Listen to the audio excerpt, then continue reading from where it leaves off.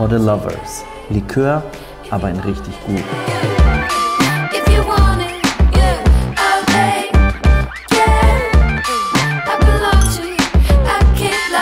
Liebe Freunde der Sonne, darf ich euch vorstellen For the Lovers. Eine Range von brandneuen Likören aus der Kaltenthaler Distille. Diese jungen Herren stellen auch den Revolterum her.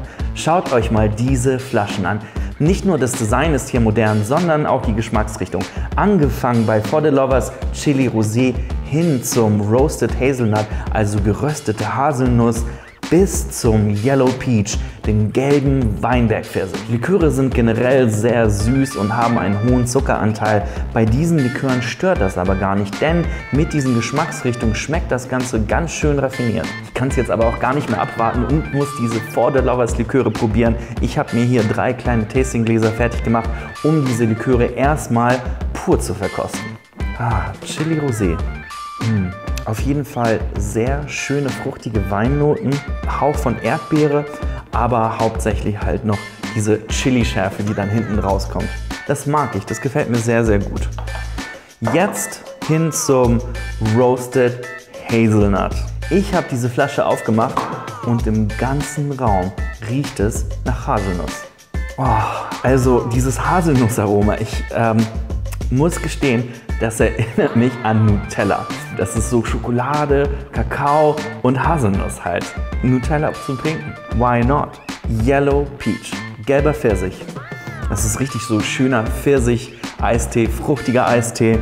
Oh, aber so richtig echter Pfirsich, kein aromatisierter Pfirsich. Richtig, richtig geiler Pfirsichlikör. Okay, wie trinken wir jetzt diese For the Lovers Liköre? Klar, auf Eis funktioniert alles sehr, sehr gut, aber man kann auch ein bisschen kreativ werden. Folgende Drinkempfehlung.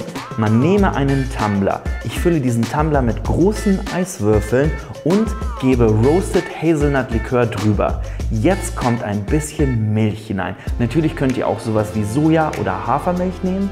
Ihr rührt das Ganze kräftig mit einem Löffel um und zum Ende kommt eine Prise Zimt auf den Drink. Wow, also das schmeckt absolut überraschend. Hätte ich nicht gedacht, dass tatsächlich Milch und geröstete Haselnuss so gut gemeinsam harmonieren.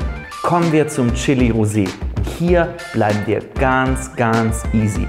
Ich nehme ein großes Gin Tonic Glas, fülle es mit vielen Eiswürfeln und gebe den Chili Rosé hinauf. Dann gieße ich das Ganze mit eiskaltem Tonic aus der Glasflasche auf und garniere es mit einer Zitronenzeste und wenn vorhanden mit einer Chilischote. Absolut erfrischendes Aroma, richtig schöne Schärfe, die toll eingebunden ist, macht mit dem Tonic Spaß, ist einfach zu machen. Den Yellow Peach Likör kann ich mir sehr gut vorstellen, zum Beispiel mit einer eiskalten Grapefruit Limo, mit einem Grapefruit Tonic sogar. Noch ein kleiner Pro-Tipp für die Cocktailfans unter euch. Ihr könnt diese Liköre auch als Ersatz für Zuckersirup nehmen in Drinks wie zum Beispiel den Whisky Sour. Da können noch ganz, ganz spannende Geschichten mit entstehen. For the Lovers Liköre, unsere Empfehlung für die Leckermäule da draußen, die es ein bisschen süßer und fruchtiger mögen. Probiert diese Liköre aus, bestellt sie auf distillery.com und schreibt uns, wie sie euch gefallen haben. Mein persönlicher Favorit ist der Roasted Hazelnut. Der hat mir am besten geschmeckt, steht bald in meiner Homebar und ich freue mich, euch bald wiederzusehen bei Drinkspiration von Distillery.